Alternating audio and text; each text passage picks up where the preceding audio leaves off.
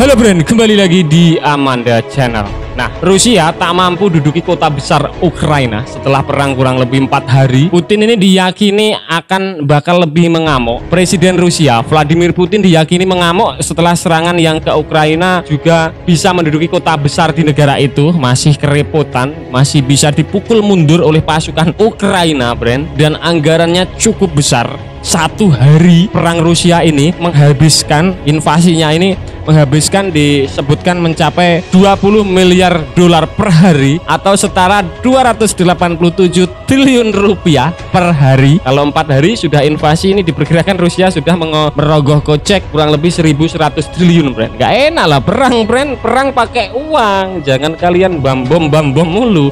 Bercanda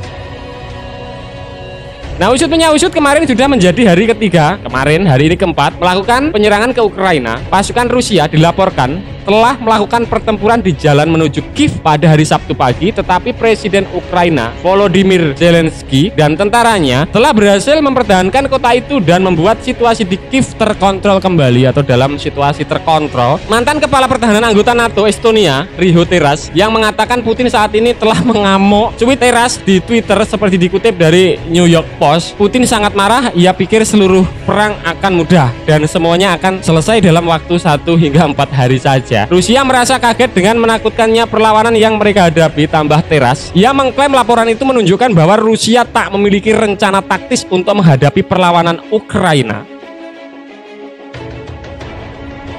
Media Teras pun menyatakan bahwa seluruh rencana invasi Rusia bergantung pada usaha menabur kepanikan di antara warga sipil dan angkatan bersenjata. Selain itu juga dengan memaksa Zelensky untuk melarikan diri, ternyata Presiden Ukraina enggan melarikan diri. Nah, disebutkan brand usut punya usut sesuai laporan Teras bahwa laporan intelijen mengatakan militer Rusia memiliki cukup roket hanya untuk tiga atau empat hari saja. Wow, terlalu meremehkan ini kalau menurut pandangan Mimin. Dengan sanksi baru yang dijatuhkan ke Rusia karena penyerangan ke Ukraina, mereka diperkirakan tak akan bisa mengganti senjata yang habis. Jika Ukraina mampu menahan Rusia selama 10 hari, akan diharuskan melakukan negosiasi karena mereka sudah tak memiliki uang, senjata, dan sumber daya katanya seperti itu. Teras mengungkapkan peperangan itu membuat Rusia harus mengeluarkan biaya 20 miliar dolar per hari.